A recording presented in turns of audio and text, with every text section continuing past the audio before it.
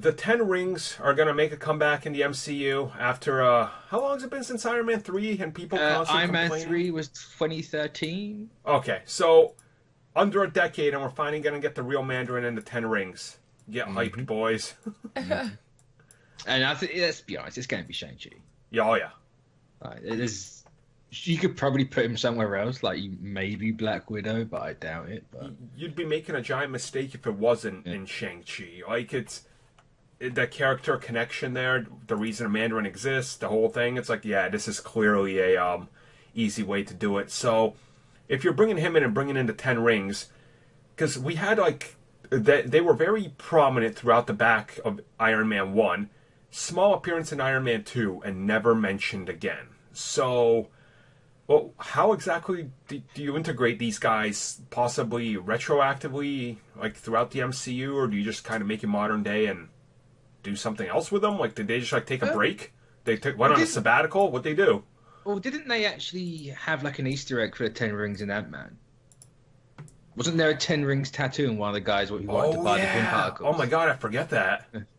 Unless you only just remembered it right then. Wow. You know, like you can always say that they've been there, like because they clearly have. But Huh. They can just be sitting there and like after they were getting more exposed during Iron Man, they decided to really take a downward like, hey, we're gonna kind of hide ourselves again Yeah. and allow us to have a better forefront instead of what we were doing prior. So hopefully that's kind of like where they're going.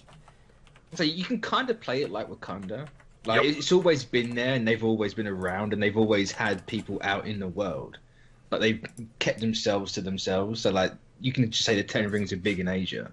Yep. Whereas in like the West, they're not. They're there, but they haven't really been there. I mean, you could technically do the thing, I guess, if you want. Like, maybe they were the ones funding, like, Yakuza or something, kind of in the shadows, mm. and they kind of retreated, like Shae said. I, I could totally buy that. And then, you know, now that the world is kind of shaken up again, they're kind of a power struggle, so they want to make themselves known again. Here comes the Mandarin. Like, The real Mandarin. yeah, I, I think that would honestly work. And then you can kind of explore that, oh, he wasn't the real Mandarin, and neither was the other guy. Like, there's been other incarnations, so. yeah. Well, like as, I- as long as I get the rings and they're all magical or alien, I'm fine. Well, like I said, like it uh, before, they you wouldn't want to have your main head honcho guy. It's not like okay, it is a movie, but they're trying to take a more realistic approach to it. You're not going to sit there and have your guy at the head table. You're going to do things like in Star Wars.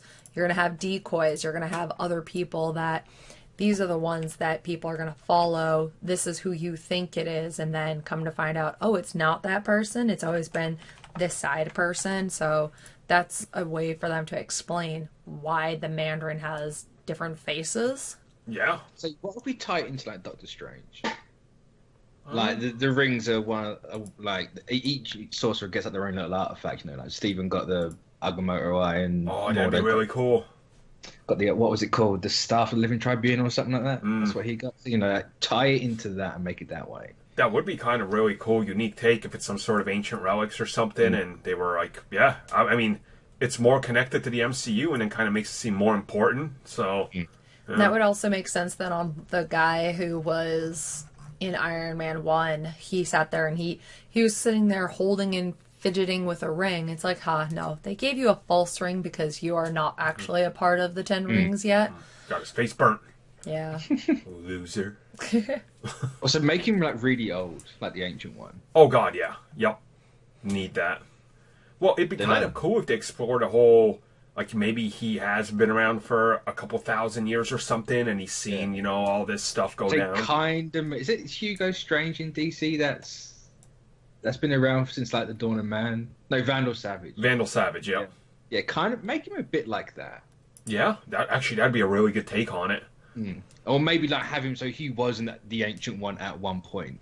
Mm. Wow, that'd be some real good connecting tissue there. Like he he got a bit corrupted and then they kicked him out. Or like Tilda Swinton kicked him out. Something just do something like that. Make it like proper weave in and out. yeah, like, kind of make it seem, uh, like I said, make it seem more important than it actually is, but just give it mm. that little connection. So people are like, oh, I know those things, you know? It's like, mm. yeah, I'd be down for that. I mean, I'm excited by the Ten Rings returning because it's like that's something I always wanted more explored. It's like, oh, I guess we're not going to touch that again. Sweet. Hmm. it also opens a lot of doors. If they're bringing this back, what else can they bring back? right. Oh, there's Yeah, oh, so yeah. much Yeah. like little tiny tidbits here and there that they were like, you know what? Let's let's test the waters with this. Okay, this is where we're gonna go now with the grand scheme, but we're gonna come back I mean, to it. Who's to hmm. say we're not going to get like Fin Fang Foom or something? Like Oh, do an it. I mean, that concept art did show up in Iron Man 1 as a billboard, so, Yeah. yeah. well, I mean, give us a version of that. You know, I'd be cool with that. Yeah. And while we're at that. it, Iron Fist, connect them in there somehow. I mean, do it. Yeah. Why not? or have like a Iron Fist. A Iron Actually, Fist, yeah. Maybe do that. Have the Mandarin be from Kunlun. Oh, that'd be awesome. He was the ancient one from Kunlun. There you go, Dan. Yeah. Just connected to everything. And then Danny can show up and, uh, I'm the Sworn Protector no, of you, you, can, you can keep Danny out because he would have been in Kunlun years before Danny. Oh yeah, that's true. That is true. If it's ancient, yeah, yeah. But either way, I'm excited. I think we're all excited. We want to Yep. see that explored. yes. Ah, yeah. So um, that'll end it there.